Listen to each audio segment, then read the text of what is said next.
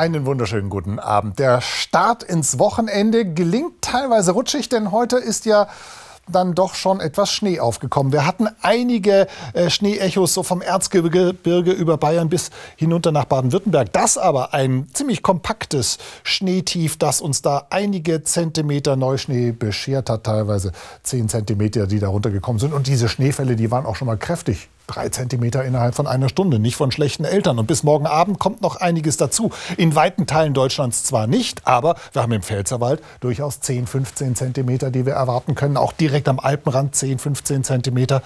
Erzgebirge eher so um die 5 Zentimeter oder ein bisschen mehr.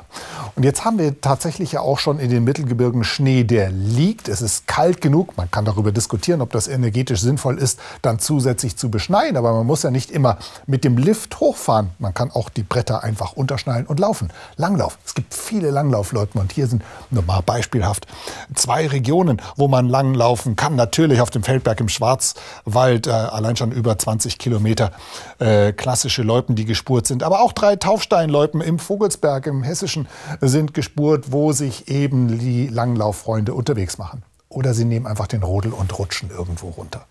Also das geht weil auch noch weiter Schnee fällt. Wir haben zum einen im Laufe der Nacht Schnee, der sich in der Südosthälfte intensiviert, gerade in Richtung Alpen und auch in Richtung Saarland zum Beispiel. Da fällt noch Schnee, einige Zentimeter, die wir da in den nächsten Stunden erwarten können. In den Frühstunden dann Temperaturen häufig im Frostbereich. Gerade so frostfrei ist es an den Küsten. Ansonsten im Flachland durchaus minus zwei, minus fünf, teilweise minus sechs Grad. Und äh, im Bergland ist es noch etwas kälter. Morgen Vormittag, wir haben die diese Schneewolken immer noch im Südosten und das wird allmählich auch kräftiger. Im großen Rest ist es relativ ruhig. Viele Wolken, teilweise noch etwas Nebel. Ein bisschen Sonne ist auch drin. Auch am Nachmittag noch im Norden etwas Sonne, aber mehr Schnee, insbesondere am Erzgebirgsrand, so der Südosten, der von Schnee betroffen ist. Die Temperaturen um den Gefrierpunkt meistens knapp drüber oder knapp drunter. Und das fühlt sich kalt an, auch weil ein ziemlich kräftiger nördlicher Wind weht. Und die weiteren Aussichten.